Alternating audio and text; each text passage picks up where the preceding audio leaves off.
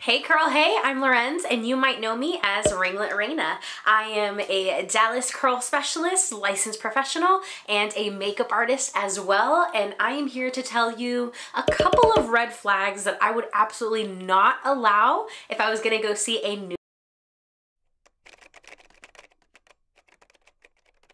If you're watching this, it's most likely because you are a curly yourself and you are looking for a curly stylist in your area. And I 100% understand where you're coming from because before I was licensed, I was out here struggling for years trying to figure out what worked best for me and my hair. And it took me a while, but these are a couple of my tips on trying to find the best curly stylist for you. So before you even book the appointment, before you even get in the chair and pay someone money to cut your hair or potentially do something that you didn't really love to it, you wanna make sure that you get the proof in the pudding. You want proof of purchase. You wanna look at Google reviews, you wanna look at their Instagram feed, you wanna see if there is anything out there online that maybe says something not so nice about that stylist that maybe they won't listen to you or give you the cut that you're really looking for you want to find that proof in the purchase. Why?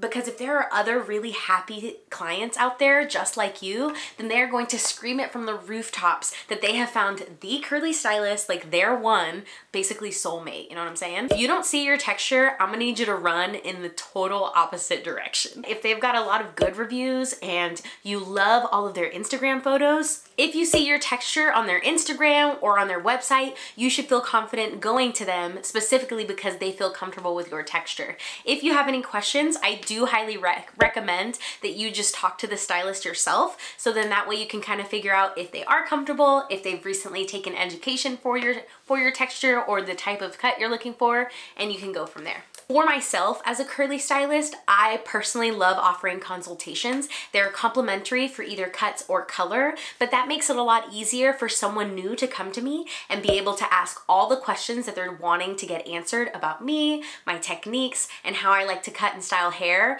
or color hair before we ever get started on a service. I provide all clients with a in-service consultation as well so we can get to the nitty gritty of what they're needing to learn from me as well as what cut and style their goal is. But the reason I say that is because if they don't listen to you, like the stylist isn't listening to you, your concerns, your questions, or just any emotions or thoughts you might have about your hair, then I would probably recommend not getting that service from that stylist. Reason being is because the consultation is the most important part of being a curly stylist and you want to make sure as the stylist that you're listening to the client so that y'all are on the same page get that curl consent, and then you can go on in and do the cut, the color, or the style, and everyone is happy. The more in tune that your stylist is with you, I promise that the happier you're gonna be with your service. You gotta make sure that when you're investing for your curly hair, that you're going to someone who's going to listen to you about products, any recommendations, any concerns you might have, whether it's hair loss or hair breakage if you get a lot of color. All these things are super important, so make sure that they listen to to you. Okay, so this kind of leads me into the next red flag. This is during the appointment stuff. So if you've already done the first two steps, fabulous. Here's the next one. During your appointment, run if they don't ask you any questions every single person communicates differently and everybody is looking either for a different style, different look, a different color, cut, whatever the case may be. As a stylist, it is my job, it is our job to make sure that we're communicating what we can achieve for our client as clearly as possible you might not be able to receive that exact inspiration photo because your texture might not be the same. You might not have the same hair color. You might not have the same density. You might not have the same porosity. There are so many different variables, especially since Pinterest has so many pictures that are either wigs or photoshopped. So you wanna make sure that you guys are on the same page of what is achievable. This next one, I'm, I'm like 50-50. The red flag is cutting on wet hair wet or straight hair.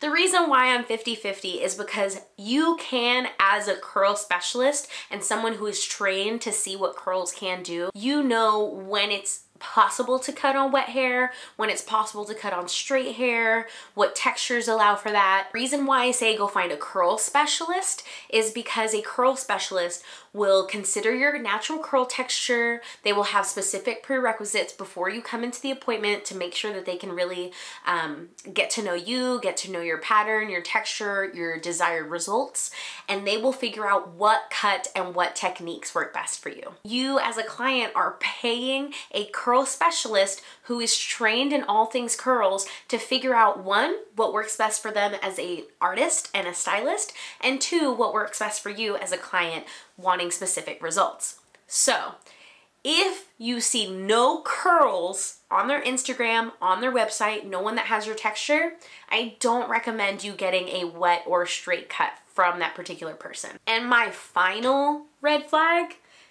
is the car salesman product pitch. I get it. I get it. Y'all, I'm a curly. Of course I'm a product junkie.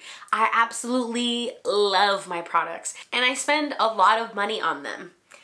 But here's the thing. No one likes being shoved down their throats with things that they should buy or they're being told they absolutely need. For me, as a stylist, I make sure that I am speaking to my client and if they sound like they are absolutely married to their products and they love the formulations they currently use and the brands they use, fabulous. As long as they know how to take care of their hair in conjunction with their drugstore products or their salon care products um, and they really know why they're using the things they're using. For me, whenever I have a client who comes in and says, hey, I'm not really ready to change products, but if you can teach me how to use mine, I would love that then yes, that is my job as a curl specialist. I am here to educate you to make sure that you feel confident achieving an at-home salon quality style out on yourself. Yes, salon quality products will make that even better for you and even easier for you. But if you don't have the current budget to make that investment, that is okay. As a stylist, I'm here to tell you if you know, you work best with creams, or if you should be a gel girly, or if you should go light and breezy and stick with sprays and foams. It really depends on you. But if you are ever uncomfortable at any point during your service um, that a stylist is just pushing product down your throat, let them know as kindly as possible. And you can always be like, I'm not interested in purchasing products today. All right, that's it for my red flags when finding a curly stylist. Remember to keep all these things in your mind when you're looking for your next curl specialist. And you can always look online to see if there's a curl specialist or curly salon near you. Some of my favorite places that you can find a curl specialist are Instagram, uh, typing in your current location, the city, and either type in uh, curly hair, curl specialist, or curly stylist. You can also do the same thing on Yelp Google. So if there is a stylist that you're looking for that you are hoping to be a good fit with, pay attention, do your research, and make sure that none of these red flags pop up whenever you are getting a service. All right, good luck curlies. Let me know if you like this video. If you did, please feel free to leave a comment down below. And if you are interested in any other specific type of content, let a girly know. Um, I'm always down to try new things and I'm just excited to be on this YouTube journey with y'all. I will see you next time.